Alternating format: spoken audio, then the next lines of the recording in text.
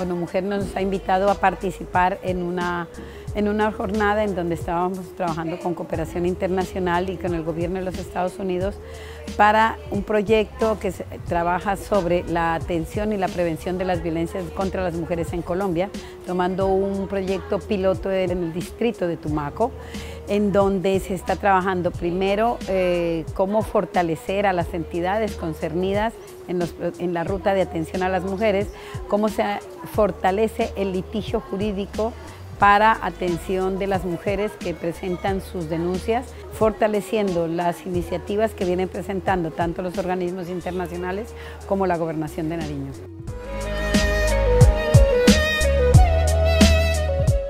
Y apoyar también a las nuevas autoridades también que incorporen esto a los planes de desarrollo eh, locales, ¿no? Eh, porque esto tiene que ser parte también eh, integrado también en, los planes de desarrollo. ¿no? No, vamos a tener desarrollo sostenible, digamos, si no eliminamos la violencia contra las mujeres y las niñas, no eliminamos la, violencia ¿no? Eh, en todas sus formas. ¿no?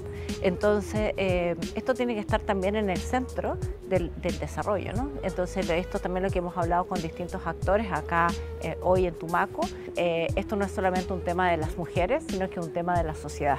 Entonces no es solamente un mensaje para las mujeres, sino que para avanzar en la igualdad de género necesitamos un compromiso de todo Nariño, hombres y mujeres.